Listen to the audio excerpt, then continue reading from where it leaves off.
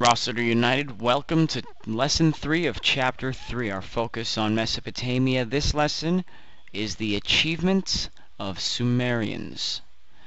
Our goal is to focus on the fact that Sumerians made many advances that helped their society develop. We're going to focus on a lot of the different categories of developments, starting with the invention of writing.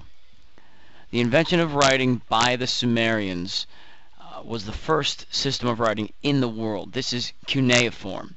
They used basic symbols to represent ideas. Pens and paper were not around yet. They hadn't discovered how to make paper. So what they did was they took soft clay and took a sharp writing implement that didn't use ink, kind of like a, a, a scalpel. It's called a stylus, similar to what you'd see on like a Nintendo DS or something like that. And they traced onto the soft clay, and then it hardened so that it would stay permanent. They drew with pictographs. These are picture symbols that were used in cuneiform. They used it to keep business records, and people who could write, known as scribes, kept track of records for the upper class. It was a way for them to advance in the hierarchy.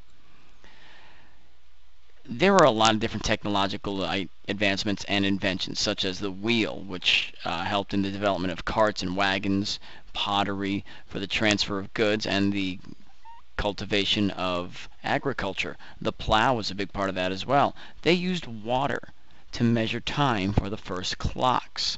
And they were also able to develop sewers, which would help manage waste under streets, which meant better hygiene for the public, which meant longer lives. In math, they realized that the number 60 shows up quite a bit. They realized that there's 360 degrees in a circle, that there's 60 seconds in a minute. They established 60 minutes in an hour, 12 months in a year as a factor of 60. They discovered formulas for how to find the area of rectangles and triangles. They began recording data to help with science, which led to the developments of medicine, basic cure-alls, as well as recording symptoms of illnesses. As far as architecture is concerned, Rulers lived in large palaces. The upper class of Sumerian culture lived in two-story homes that were about 12 rooms. The middle and the lower classes had one-story homes with about six to seven rooms around an outdoor courtyard. So you'd have a, like a instead of a backyard, you'd have the open yard in the center, and then six to seven rooms around that. The center of these cities were grand temples known as ziggurats. Ziggurats were pyramid-shaped temples. They were tower structures with outdoor staircases which led to a shrine at the very top to the gods.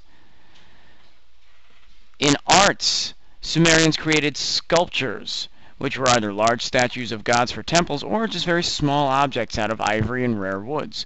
They imported gold, silver, and gemstones from other lands for jewelry and developed advanced methods of goldsmithing. They created these items called cylinder seals. If you take a look here, you see there are engravings. When you would roll these cylinders over clay, it would leave an imprint. These were used to stamp ownership or as a signature. And they also used music in their culture. Kings and musicians hired musicians for very special occasions.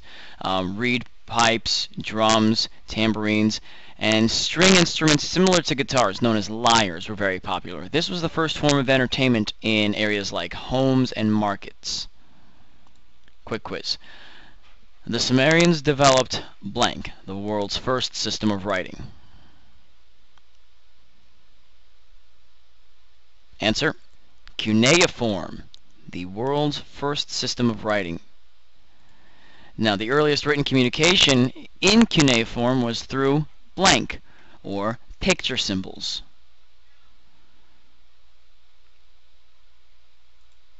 Pictographs. Pictographs were a main form of cuneiform. A blank is a pyramid-shaped temple that rose above each Sumerian city.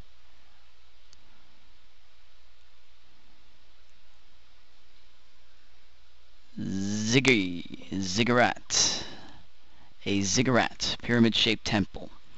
Finally, among the contributions of the Sumerians to modern society was the blank, and the first vehicles to use it, such as carts and wheels.